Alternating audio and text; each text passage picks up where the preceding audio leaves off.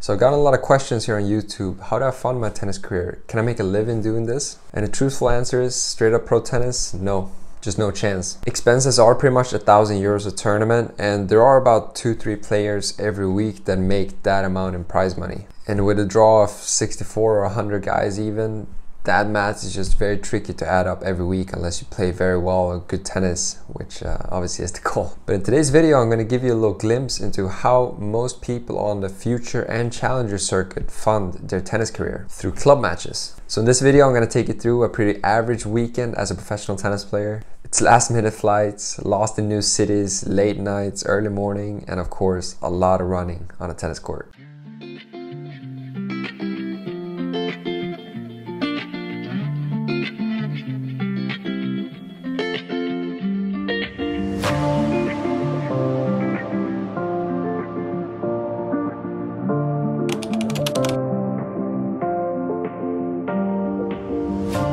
And then at about 5 p.m. we made sure to get about an hour of tennis in, feel the court, feel the conditions and everything.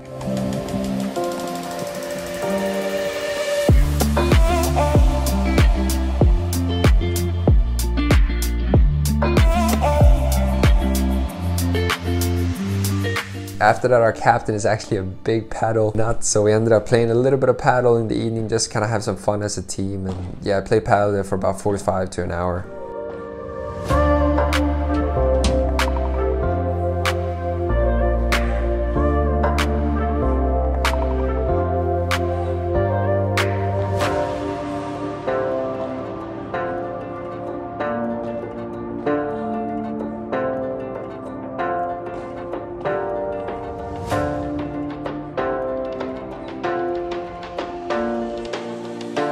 After that, I was finally back to the hotel, get a quick shower, and then I was out to get some team dinner. Really nice place there in Toulon. There's some beautiful boats and a harbor there with, uh, yeah, there's really nice evening and, and nightlife there.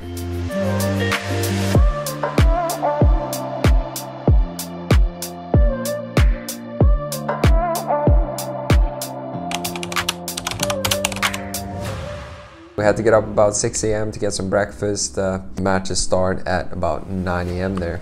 So really solid match from my end. I feel like I played very well. It's just everything was working very well. Especially I was serving well, which was a huge factor. And I feel like just serving well opens up so much for my game that I can really just approach it, come to the net, kind of break down the rhythm a lot, and play fast, play slow, mix up my pace, and just do everything very well, which which actually worked out yeah very well this match. I feel like especially I was doing a really good job when I came forward. Like my drop shot was just working pretty much picture perfect. So really solid match through and through. I managed to get the win there. I think it was 6-0, 6-1.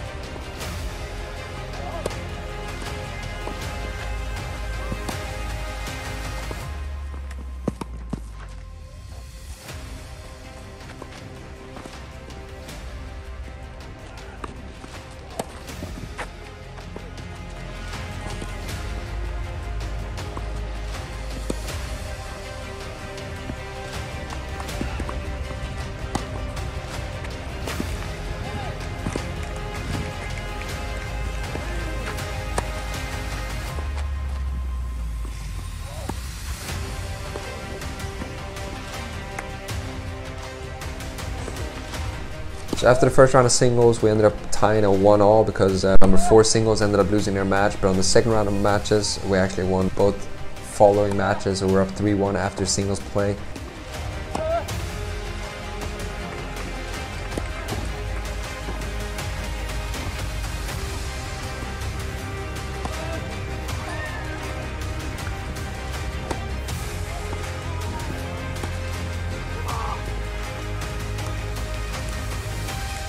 And then it was on to doubles. So me and my partner Philip Berger, we played the number one doubles there. We actually played a really solid match again. Just everything was working very well. We made a lot of returns, came forward, were aggressive, kind of took charge, and yeah, just serving well both of us, and, and managed to get the job done there. very quickly about, I think it was 6-1, 6-1.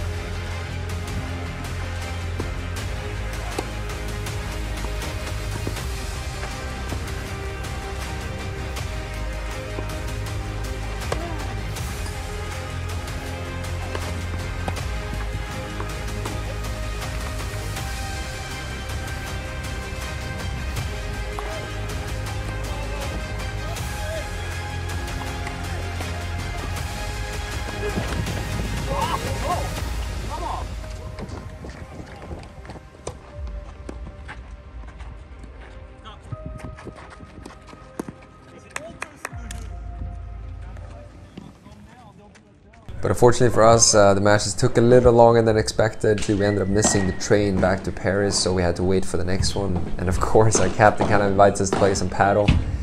And we actually got challenged by our opponents from the tennis match. It was a lot of fun. We played some padel with them there. I had a quick shower there and onto the train, but unfortunately because we took this train, it was actually with the low connection in between and it took a long time. But luckily for us, we actually ended up getting like first class tickets there because I think the train was sold out. Yeah, so uh, things are not going perfect way right now. Fortunately, my hotel, there's no one in the reception. I've been there for like 20 minutes. Nobody's opening. And uh, yeah, my flight is in like five hours, so I could really use uh, a bed and a hotel room now. I'm not sure what the options are or what I'm supposed to figure out. Maybe I'll just go to the airport and just crash there, I guess. But I don't know. So the guy in the reception just called me back. I've called him probably like 10 times. I finally texted me and asked me, are you Monsieur Simophone? yeah, he called me and then apparently I a room. He just said like, yeah, just go to, to room 76. So we'll see if I get in or if I get kidnapped. Uh, it's like a 50-50, but it's only one way to find out. Ciao. Uh, survived it, kinda. So, about three hours of shut eye and then uh, gonna make it to the airport. And off we go again. Like 5.50. Gonna jump on the, in the Uber. Get to the airport at probably like 6 a.m. And then my flight's at 7.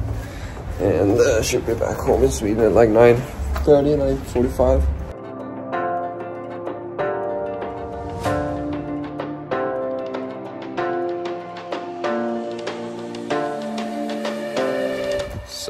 finally answer the question that probably has been on a lot of your minds throughout this video is how much do I actually make from this? And it's hard to give an exact number because it varies a lot for people obviously, but for me, easiest way to explain it is pretty much that one club match would usually equal one week of tournaments for me. You usually try to schedule in club matches before a tournament starts or after a tournament finishes, and then you go to a club match to kind of help out with the flight expenses. Yeah, it really helps a lot when it comes to all the expenses because the expenses are really there, especially when it comes to flights and hotels and those kind of things. So club matches, it really is an invaluable thing. And most of all, it's a lot of fun. You know, if you get a great team, great teammates, it's a lot of fun, but it is very tough also with the traveling because it is usually a lot of in and outs. You kind of come in there for a day or two and then you have to go back for the next tournament. So it is a lot of traveling, but at the end of the day, you got to do what you got to do. And it is a lot of fun for sure.